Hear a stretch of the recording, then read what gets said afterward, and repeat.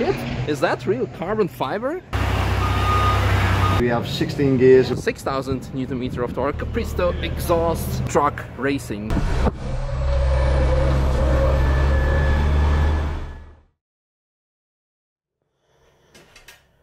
Well, welcome back, comrade.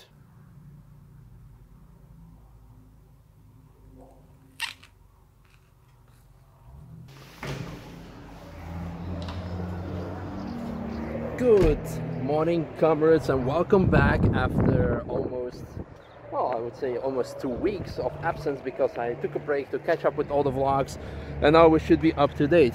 Was this? Is this the new X3 or um, could be. Well, they revealed the car. Why is still running camouflage? Who knows? Whatever.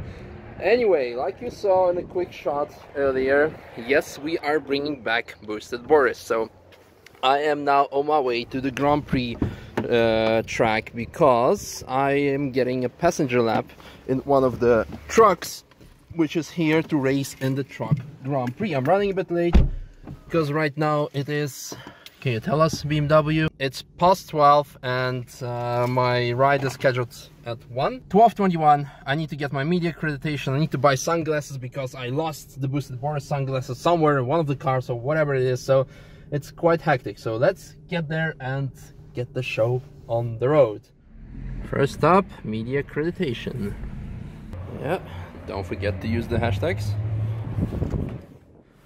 I made a mistake of my tires, Ayrton Senna. One of my most favorite quotes. Uh, accreditation done. And now, like I told you earlier, need to buy Boosted Boris glasses because I lost my. And I get a lot of questions which type of brand it is, where I can buy them. Well, the answer is simple, Racewear 24. And which brand? I have no idea, but we will find out.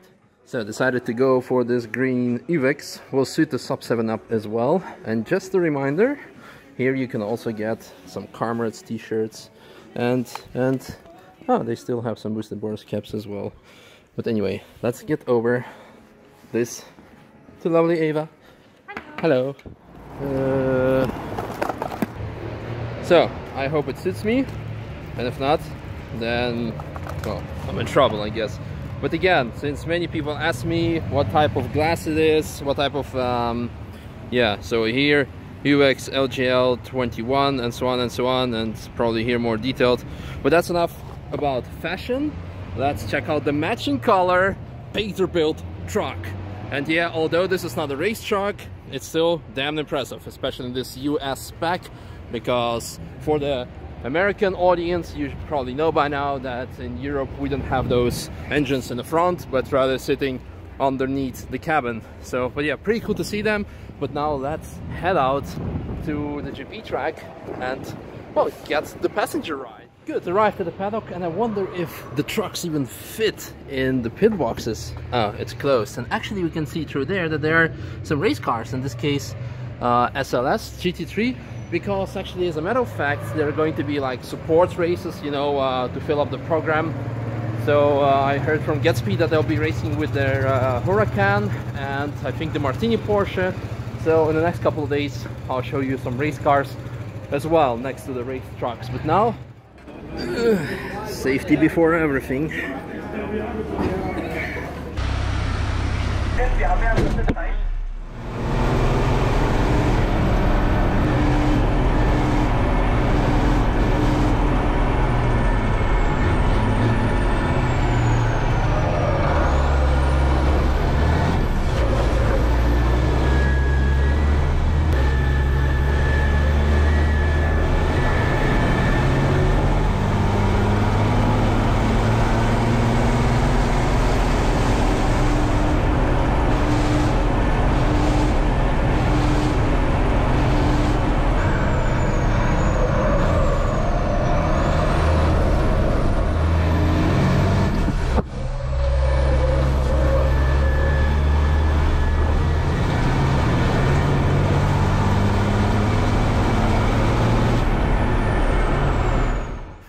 That was quite special and for the full video head out to Boosted Boris channel well hopefully there will be a full video because I still need to come up and shoot some content Now going to the media briefing, and here are just uh, the calendar of the FIA European Truck Racing Championship. If there is something in your country, it's definitely worth checking out. Wow, Le Mans. Hmm. And Zolder, maybe I might visit it because it's not so far away. Okay, uh, good afternoon everyone. My name is Sam Smith. I'm the uh, press officer and the media delegate for the FIA European Truck Racing Championship. Good.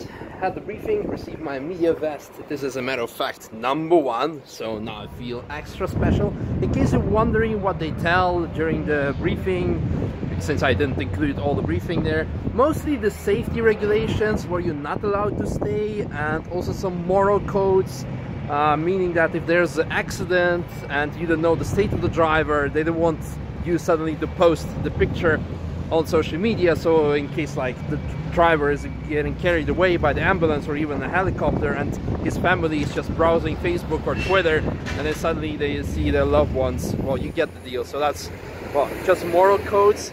Safety code wise, need to stand two meters behind the guardrail opposed to I believe one meter or even just as close as you want to during casual race, car race.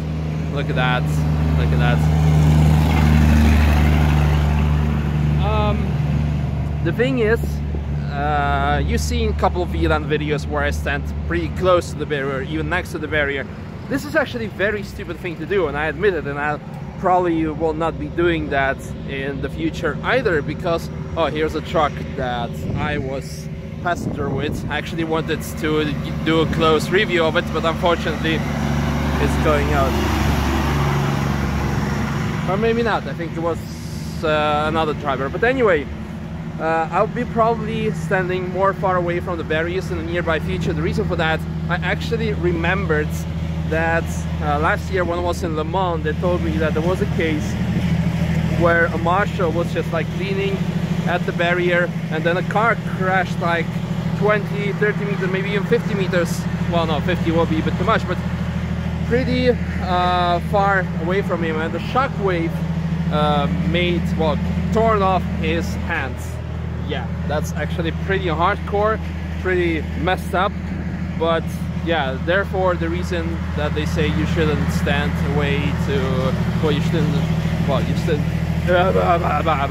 I lost my words and the reason for that is I see a Martini Porsche from GetSpeed so I'm gonna check out if they're here. Well they're obviously here.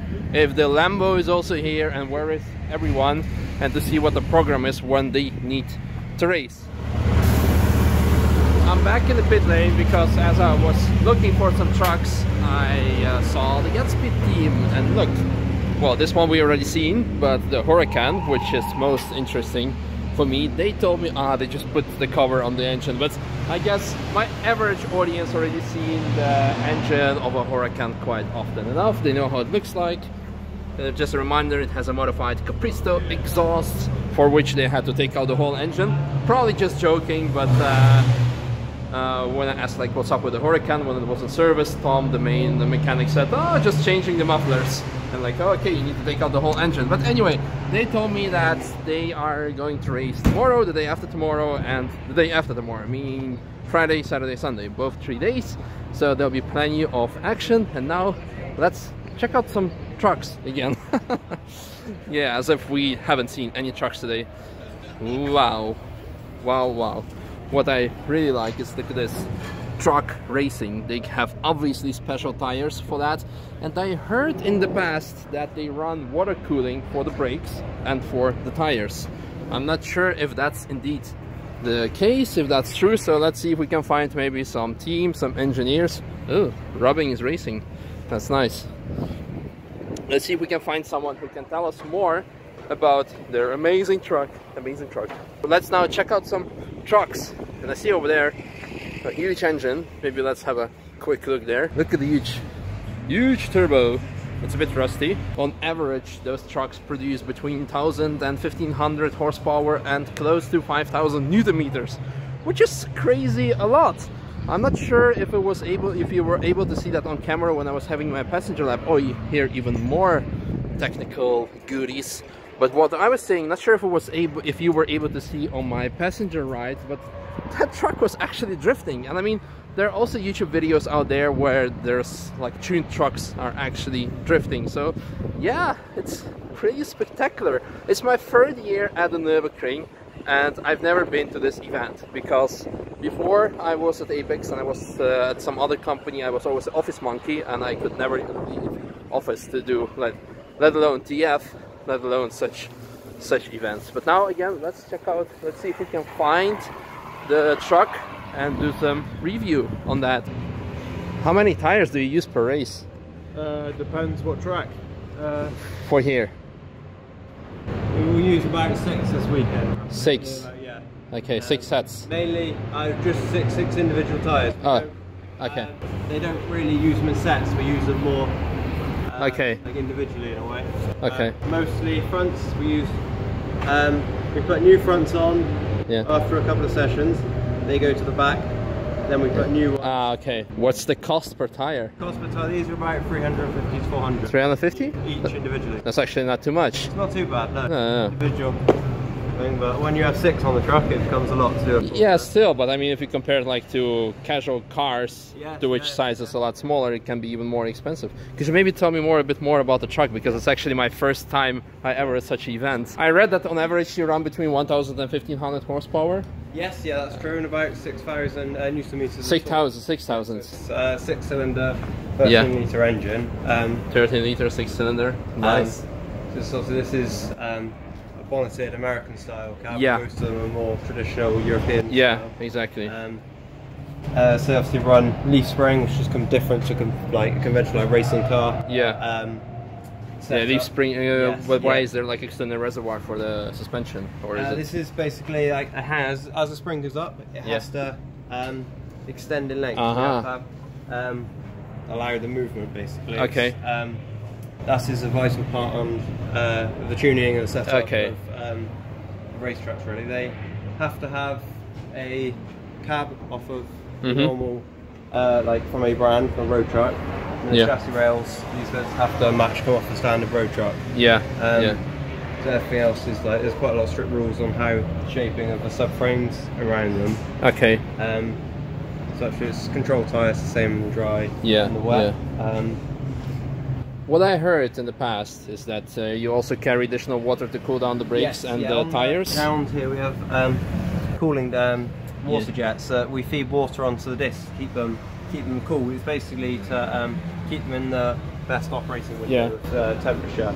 Yeah. Um, so we have big tanks on them. We use quite a bit of water um, as the main. You often see under braking, a lot of steaming off the tires. It's Mhm. just- It's the water vapor blow off as much. They Cool. Yeah, they told me that you don't uh, refill during the uh, the race No. because uh, no, we don't really do any pit stops or anything. Being Yeah. the fact that it's yeah. it is a road truck at the end of the day. Yeah. you it has- it's not the fast easiest thing. Um, What's actually like estimate running costs on a year? Like Um, running costs are very dependent on the team, really. Yeah, exactly. Look down the lower teams, Yeah. a lot less than the bigger teams. Um, engine rentals. Uh, most people here, the fast ones, have engines Yeah. There, um, that's the main main Yeah. cost. It can be ends really vary between between 30, 40, 50 Yeah. thousand a year. Yeah. that's a big cost. So There's tyres. European teams yeah, after these buy them straight away. Kind of thing. It's part of the deal they do. yeah, really cool. Well, I wish you lots of luck. Thanks a lot for this Yeah, interesting tour. Cheers. and uh, yeah, see you around. Oh, very nice fella. That was uh, really informative and interesting. I hope you found that as well. So actually running close to 6,000 newton meter of torque, which is just a thousand newton meter more than I first anticipated. And uh, my thought that were, they were using water to cool down the brakes confirmed, but which is quite obvious. And I was surprised that the like the price of the tires, for example, only 300 euros for uh, for a racing slick for a truck.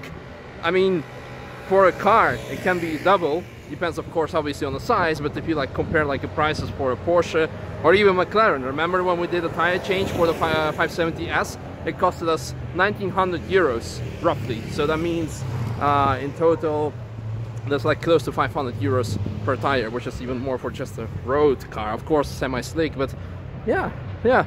Interesting. Lots of news and here is actually something well i would call it definitely special i didn't see the Abarth stickers in the first place but i was just like walking past walking past like holy shit is that real carbon fiber and well, it appears to be real carbon fiber because as a matter of fact, it's Abarth. And how come Abarth? Isn't Abarth like more of a Fiat thing? Well, if you're not into trucks, like me, but I just Wikipedia'd it, Iveco is actually part of Fiat Group and part of Fiat Group is also, well, Ferrari, for example. And well, obviously Abarth is a tuner of Fiat, so yeah, that must be a pretty damn expensive truck. Carbon fiber cabin, carbon fiber doors, carbon fiber mirrors. I know that trucks can cost quite a lot, hundreds and thousands of euros. This one is probably even a bit more. Is there even carbon fiber engine cover? Can we, can we, I don't know, we cannot see it, but maybe, maybe there is maybe there is. And just a fun little detail, you know that during races they have the pace car, safety car, and during truck races, ta-da, a pace truck. I wonder if they also have safety truck. Well, I'm pretty sure they use one of those things, or even bigger, because if one of the trucks gets stuck in kitty litter in the gravel, then you need something bigger than a casual Bongard truck and some trucks are getting delivered here. And it's actually not much different from uh, having a race car delivered. They're taking off the bumper because otherwise it's too low uh, to get off the tra trailer. If we have a look here inside they also have um, I guess it's a gearbox. Yeah just a extra gearbox. Oh make sure not to get run over by a truck. Extra gearbox in case something goes wrong and need to replace it and again, rubbing is racing with the trucks. And look at the stance, look at the wheel.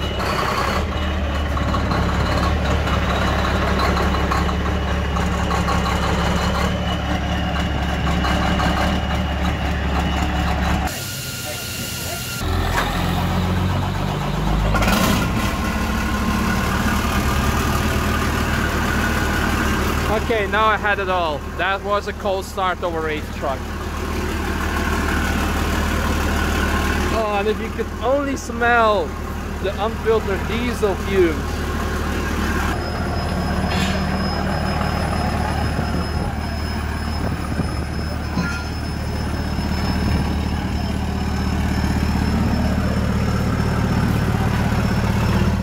This looks even more serious than a race car. Yeah.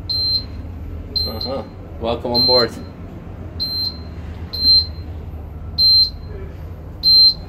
Now you can see we have the front uh, front left brake temperature, front right brake temperature, rear left, rear right. Yeah. And that's yeah. so we can monitor the how much water we put onto the disc. Oh, that, yeah, that's that's really cool. And then the, the water's sprayed between the vents here, Mm-hmm. and that's what keeps the disc cool. And we Yeah. try for each braking point to go into about 150 degrees Yeah, 150 degrees optimal braking uh, temperature. And then when you run out of water, it goes up to 900 degrees in two, two braking points, and then brake normally cracks there, Yeah. then across, and then all the way around. So then the caliper holds the disc, but the wheel still turns. Ah. So that's when your asshole goes like that. yeah. Yeah. yeah, and the rear view camera instead of mirrors, obviously. For sure.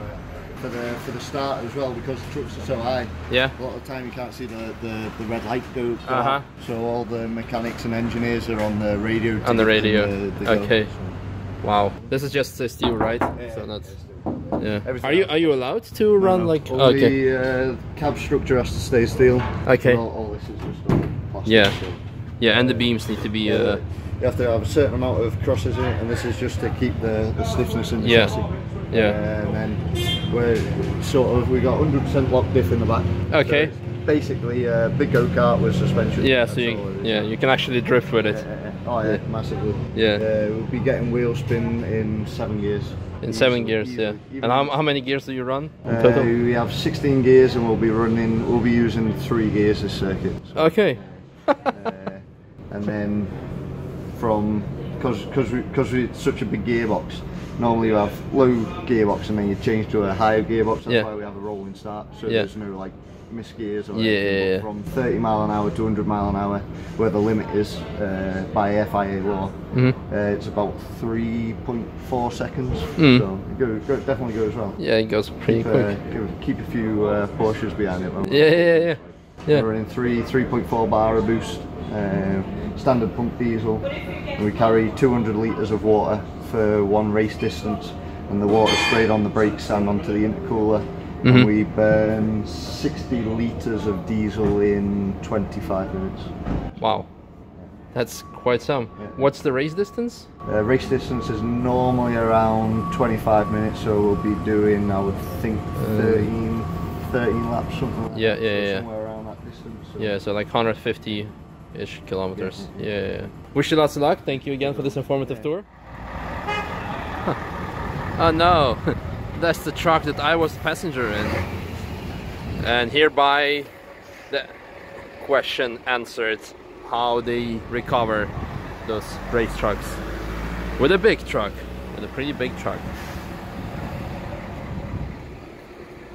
Ouch. I wonder what happened to it. I hope nothing serious. Oh well, mechanics are laughing, so I presume nothing bad.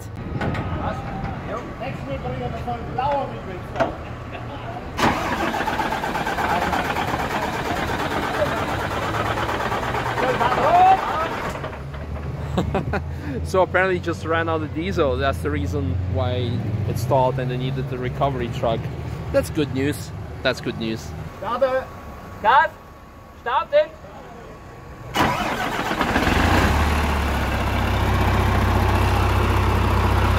Makes me happy.